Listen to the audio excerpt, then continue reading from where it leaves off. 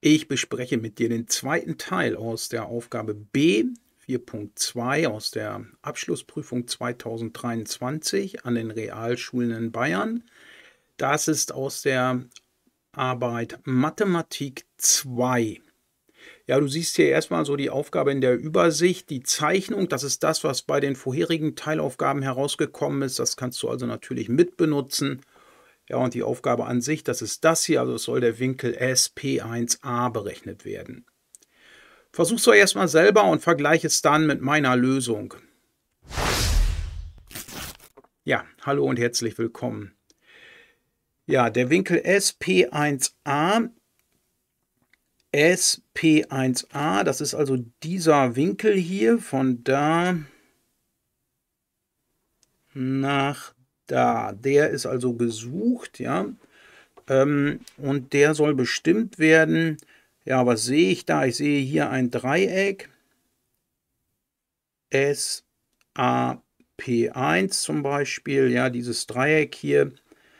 Und da könnte ich doch versuchen, diesen Winkel auszurechnen. Dann stellst du allerdings fest, naja, es sind nur zwei Seitenlängen gegeben. Ich bräuchte noch eine dritte Seitenlänge. Oder zumindest dann zunächst mal vielleicht irgendeinen Winkel. Der hier unten, der ist ja auch nicht gegeben. Der hier oben ist auch nicht gegeben. Naja, dann schauen wir noch mal ein bisschen rum. Schau dir mal dieses große Dreieck hier an. SAC. Dann siehst du hier unten ist ein rechter Winkel. Den Winkel, den hatten wir vorher schon mal berechnet. Dann können wir den da oben ausrechnen. Wenn wir den haben, dann haben wir ja hier die beiden Dreieckseiten wiederum von dem Dreieck mit dem eingeschlossenen Winkel. Und dann können wir diese Strecke hier zunächst mal ausrechnen.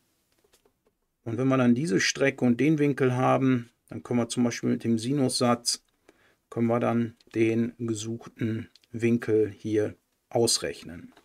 Ja, gut, so werde ich vorgehen. Du wirst es dann ja noch im Detail genau sehen, wie ich es mache. Ähm, ja, ich lege mal los. Also, wie gesagt, ich fange in dem großen Dreieck an. SAC und berechne mit der Winkelsumme im Dreieck diesen Winkel hier. Das ist der Winkel ASC. Also ich schreibe es mal auf. Der Winkel ASC, der ist dann nämlich gleich 180 Grad, minus die 90 Grad hier in der Ecke, minus und dann der Winkel hier, also 39,29.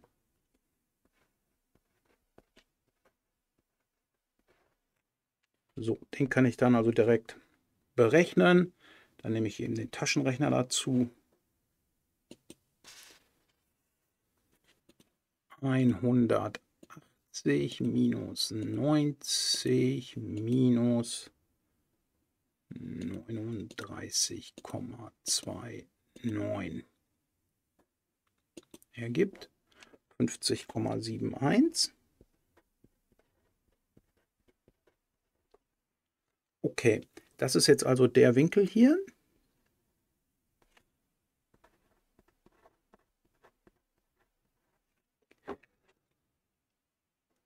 Und ähm, damit kann ich jetzt ja diese Strecke hier berechnen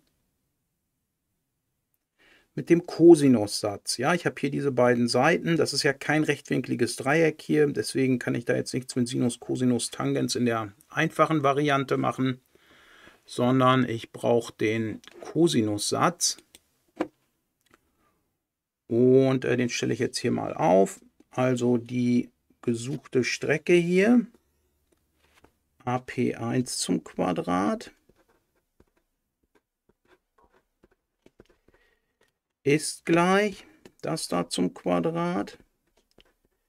Plus das da zum Quadrat. Minus 2 mal das mal das. Mal Cosinus von dem eingeschlossenen Winkel 50,71. Den Cosinussatz hast du natürlich in deiner zugelassenen Formelsammlung. Kannst du dir daher nochmal gerne anschauen. Aber so sieht es aus. Gut, dann ähm, rechne ich mal diese Seite hier aus.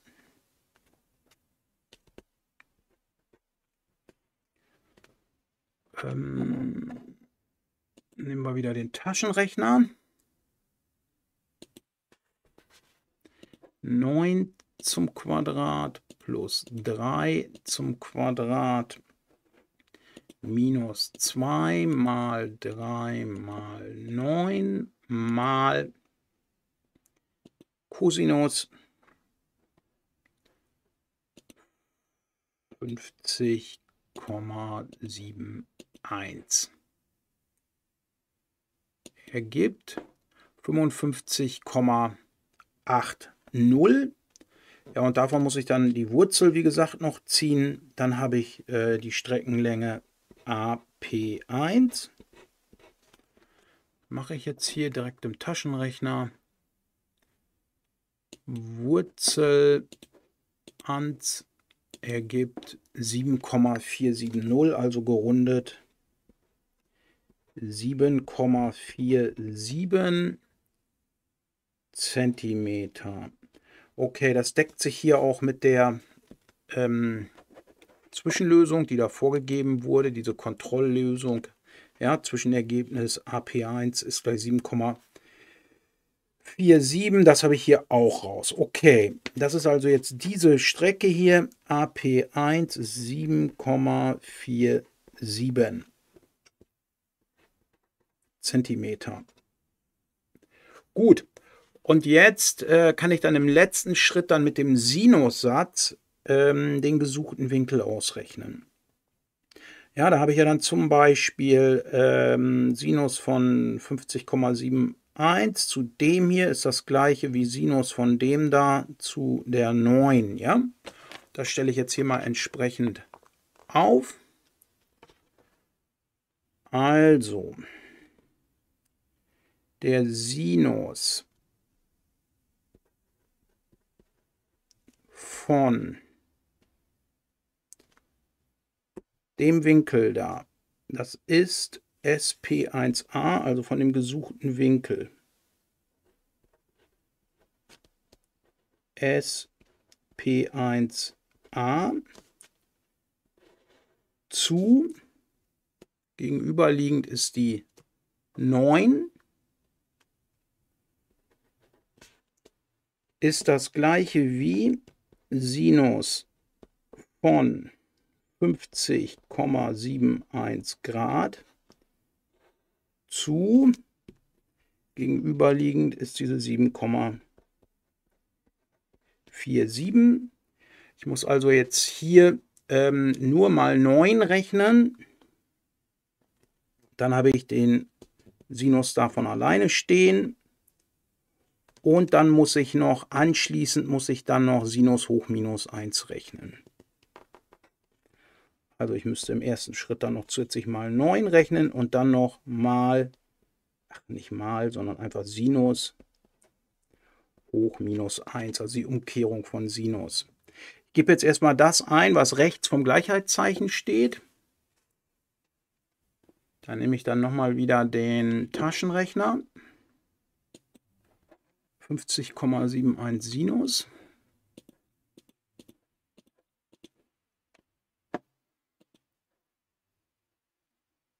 Hm, durch 7,47 mal 9. Ja, und davon, was da rauskommt, muss ich dann noch Shift Sinus nehmen. Also ich rechne das jetzt hier schon mal vorübergehend aus. Das ist das. Und davon muss ich jetzt Sinus hoch minus 1 nehmen. Also Shift Sinus von 1 ergibt 68,82 dann. Also der Winkel SP1A, der ist dann ungefähr gleich 68,82 Grad. Ja, wir erhalten hier diese 68,82 Grad. Ja, das ist eine mögliche Lösung. Wenn du jetzt aber hier mal genau schaust, dann siehst du hier schon in der Zeichnung, du kommst hier mit 68 Grad überhaupt nicht hin. Das sind ja über 90 Grad. Und äh, wenn du dann nochmal in deine Formelsammlung reinschaust, im Punkt äh, 21, da äh, findest du nochmal Beziehungen zwischen den Sinusfunktionen. Und ähm, da findest du zum Beispiel folgendes. Sinus von 180 minus Alpha ist das gleiche wie Sinus Alpha. Ja, das sind die sogenannten Supplementbeziehungen, die müsstest du auch besprochen haben im Matheunterricht. Da und da kommt also das gleiche raus. Das heißt, es kommt jetzt nicht nur diese 68,82 ähm, Grad in Frage, sondern auch noch 180 minus 68,82 Grad. Den müssen wir jetzt auch noch eben kurz ausrechnen. 180 minus 68,82 Und da erhältst du dann 111,18. Also oder Winkel SP1a ist ungefähr gleich 111,18 Grad. Ja, und wenn du das anschaust, du siehst es schon in der Zeichnung, für diesen Winkel hier der da, da kommen dann nur diese 111,18 in Frage. Und der hier, die 68, die treffen in dem Fall dann also nicht zu. Das heißt also, die Lösung ist dann nur 111,18. Da gibt es also nur eine korrekte Lösung. Ja, ich finde die Aufgabe teilweise ganz schön verzwickt, muss ich sagen. Ja, ähm, mit dieser Fallunterscheidung dann am Ende auch nochmal. Ich hoffe, ähm, du konntest es trotzdem verstehen. Lass mir uns gerne unten noch eine Frage da. Schau dir meine anderen Videos an. Bis zum nächsten Mal. Tschüss.